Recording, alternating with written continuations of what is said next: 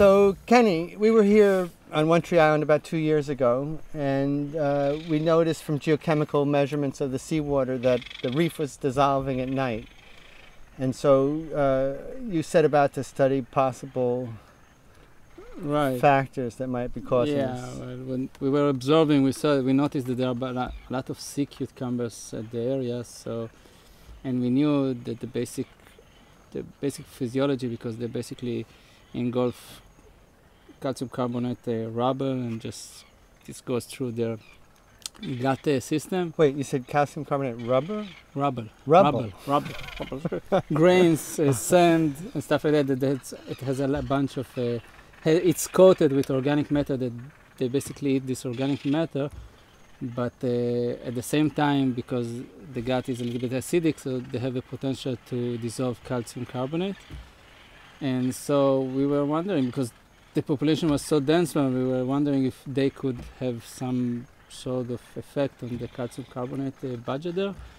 And we were, frankly, we were very surprised to see that their effect is much greater than anybody expected or knew about it. And it, once we budgeted for entire day, we we calculated that they have a potential to to attribute up to about 50% of the calcium carbonate dissolution at night, which, as you can imagine, it's a big uh, it's a big part of the reef calcium carbonate budget. So, did you come to One Tree Island planning to do this experiment? Uh, how did you do this uh, work? No, no, that's that's work is actually it's a lot.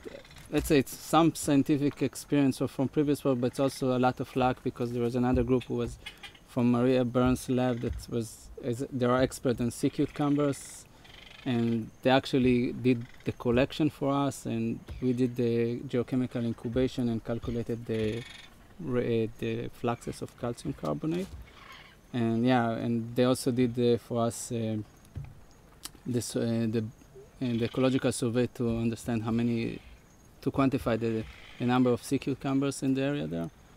And yeah, and that's that's actually a, a very nice interdisciplinary approach with people who come together and figuring out a common question. And I think it's a beautiful approach. I actually like the paper. no, I really do. I like it. It's like it's it's not something that's planned. That's something that's only can happen on an island. And when you actually find and introduce yourself to interesting people who actually will listen and talk and get an idea. And, and basically, the incubation was so simple. We didn't need to organize anything. We had everything on site. So, it's bringing together some biology and geochemistry to uh, understand processes that might be important for global change. Yeah. So, the uh, one big concern about uh, this reef is that carbon dioxide emissions is leading to ocean acidification, and uh, that might cause the reef to start dissolving, perhaps even within a few decades. And and uh, so, one question is. Uh, whether the amount of dissolution caused by the sea cucumbers is going to increase as ocean acidification increases. Do you think there's anything that could be done to uh, investigate that?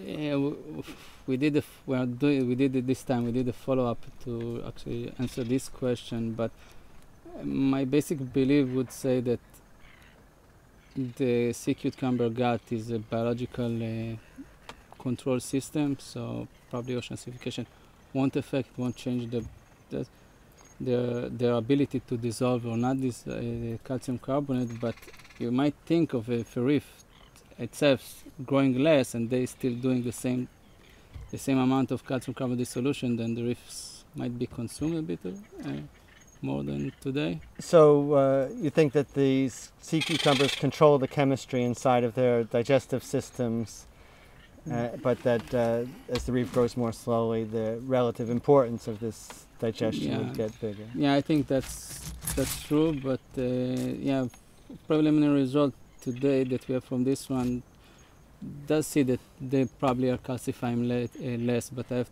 still to analyze to do a full analysis of the data. So. Well, we'll look forward to that analysis, and I'm sure it'll appear in another paper. So we'll look That's forward to that also. Wonderful.